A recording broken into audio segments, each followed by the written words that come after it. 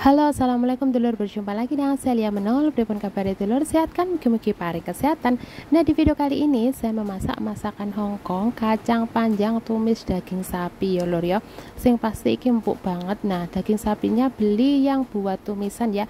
Bilang saja oleh jauh. Jadi jauh itu yu lamti gitu ya. Lamti ini maksudnya lebih empuk ya. Sing, Sangat empuk gitu ya.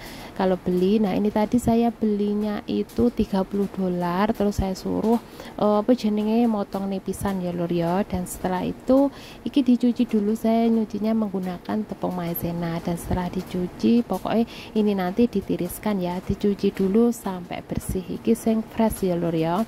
Nah pokoknya bilangnya seperti itu. Main ngayuk oleh jauh lam yu gitu ya.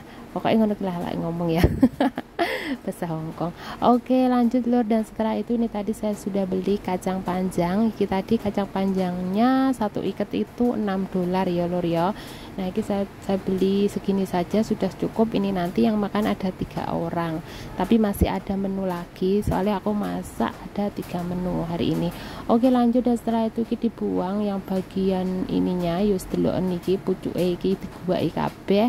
Dan setelah itu baru dipotong ya lur ya nah ini dipotong dulu seperti ini yang caranya mau eh caranya motong. Eh motongnya uh, kalau suka agak panjang ya bisa rotuan kecil ya bisa. Kalau aku sedengan ya ya terlalu panjang banget ora terlalu pendek banget.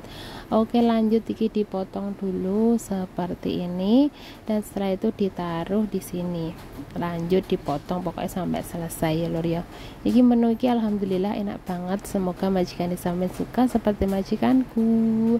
Soalnya selera majikan kan beda-beda ya ditunggu baik resep-resep selanjutnya ya lor pokoknya menu-menu masak-masakan Hongkong buat sehari-hari. Oke lanjut dan setelah itu ini dicuci dulu sampai bersih dicuci sampai bersih beberapa kali ya lor ya. Nah iki di luariku hari ini hujan lor di Hongkong hari ini hujan jadi ini mungkin suaranya keletak-letak nih jopo yo hujan terus aku iki pas ngedit pas hujan. Oke lanjut dan setelah dicuci lalu disisihkan dulu ya lor ya. Ditiriskan dulu. Dan setelah itu ini tadi saya sudah kupas bawang putih bawang merah dan juga pakai jahe. Jahe ini enggak tak kupas di cuci sampai bersih saja dan setelah itu bisa diiris ngono ya dipotong tipis-tipis nah ini kalau bawang putih sama bawang merahnya tak cincang lor ini sesuai selera saja. Kalau misalnya majikan nggak suka tidak dikasih juga nggak apa-apa. Pakai jahe saja juga bisa ya lor ya. Oke lanjut. Setelah dipotong dicincang seperti ini babutnya lalu taruh di piring kecil. Disisihkan dulu ya lor ya nah seperti ini. Dan setelah itu lanjut iki aku pakai gula. Jadi buat sausnya ya lor ya bumbune. Gula ada merica bubuk. Dan setelah itu saus tiram secukupnya. Kalau misalnya kurang nanti bisa ditambahkan. Dan setelah itu tambahnya tepung maizena lalu kasih air secukupnya. Kalau misal nanti kurang yuk bisa ditambahkan lagi ya lor ya. Oke lanjut diaduk dulu seperti ini dan setelah itu sisihkan. Nah ini tadi wis tak tiriskan yo. Dagingnya sapi sudah airnya. Terus dibumbuin dengan gula merica bubuk kecap asin lalu tambahkan dengan kecap ikan. Bisa dikasih bisa enggak. Terus ditambahin minyak wijen dan setelah itu tambahin minyak goreng. Kalau nggak ada kecap ikan itu bisa diganti pokoknya minyak goreng roy gak apa-apa lor. Oke dan setelah itu tambahin tepung maizena diaduk sampai merata. Lalu iki diyip atau dimarinasi dulu sekitar 20 menit ya lor ya. Ben bumbunya meresap gitu. Oke lanjut setelah 20 menit kemudian baru bisa dimasak. Iki setelah diaduk disisihkan dulu. Pokoknya diaduk-aduk sampai merata sampai bumbunya merata ya lor ya. Oke lanjut lor dan setelah itu kita tadi saya sudah potong uh, wortel jadi bisa ditambahkan wortel ya. Dan iki bumbunya wis siap kabeh iki wis 20 menit kemudian siap memasak pertama panas nih eh panas nih rebus air kasih garam terus iki direbus dulu. Iki nih apa jenenge? Kacang panjangnya. Nah aku kalau e, masak kacang panjang tak rebus di ada yang langsung ditumis ya. Kali ini aku tak rebus dulu. Direbus dulu iki bene ben ben apa jenenge? Kalau sudah mendidih pokoknya sampai diane setengah matang jangan sampai empuk banget ya lor ya. Ngerebusnya sampai setengah matang gitu aja udah ya lor ya. Oke lanjut ini saya buka dulu ini belum matang. Terus ini saya mau tambahkan dengan apa jenenge wortel. Jadi wortel ini mau tak tambah nih dek ini direbus bareng. Direbus sebentar saja nggak usah terlalu lama. Pokoknya ini kacangnya setengah matang saja yo. Jangan matang. Soalnya kan nanti masih dimasak yo. Masih dimasak dengan daging sapi gitu. Karena daging sapi ini aku lek masak nggak usah terlalu lama lor sebentar saja. Jadi uh, apa jenenge kita direbus dulu kacang panjangnya. Oke lanjut. Dan setelah ditiriskan kemudian diangkat kacang panjangnya terus tumis bumbunya babu sama irisan jahe dioseng-oseng dulu seperti ini dioseng-oseng sampai keluar aroma harum. Apinya menggunakan api sedang ya lor ya. Dan setelah itu baru masukkan daging sapinya. Nah daging sapi dimasak dulu seperti ini. Ini diginikan jangan dioseng dulu pokoknya diratakan saja. Jadi masak daging sapi yang buat tumisan ini nggak usah terlalu lama. Kalau terlalu lama malah ndak enak ya lor ya jadi kalau sudah berubah warna wes kita empuk matang gitu aja wes ya. Oke lanjut iki dioseng-oseng dulu seperti ini. Iki juga dimasak setengah matang dhisik.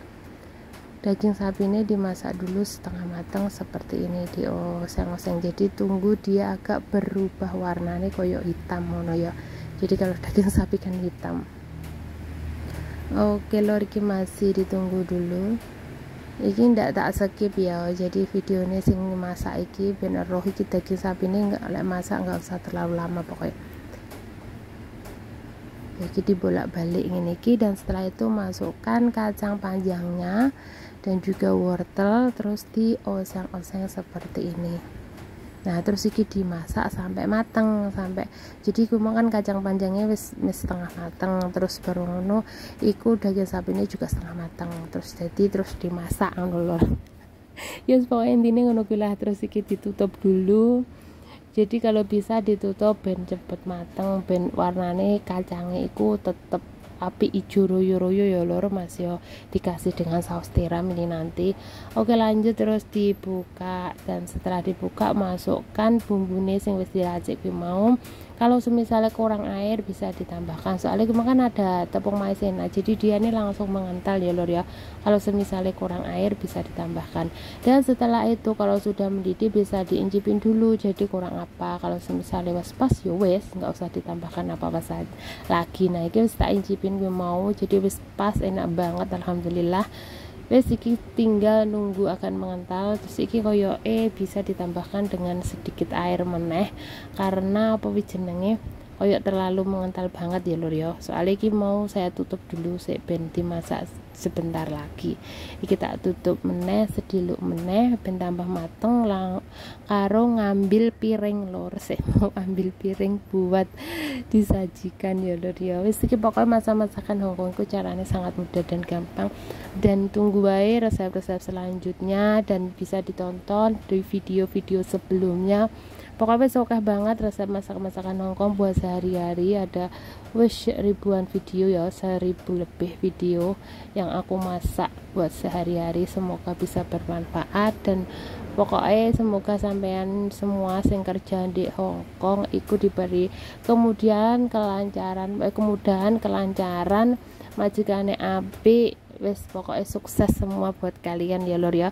Dan terima kasih doakan saya semoga pertama sehat terus apa jenenge juga lancar kerja nih bosku terus bisa membuat konten setiap harinya. Wis matur suwun banget ya lor ya. Oke kita sudah siap disajikan kanggo majikan. Dan jangan lupa yang belum subscribe mohon bantuannya di subscribe dulu di like komen dan juga share. Matur suwun. Wassalamualaikum warahmatullahi wabarakatuh. Tunggu di next video selanjutnya. Bye bye